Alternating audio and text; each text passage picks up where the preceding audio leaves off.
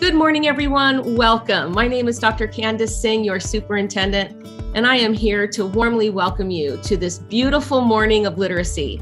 This is our 18th anniversary of our Fallbrook A Leer event, and I want to thank you so much for joining us today. I especially want to thank our volunteers and our guest readers who have spent considerable time working hard to make this a beautiful event for you.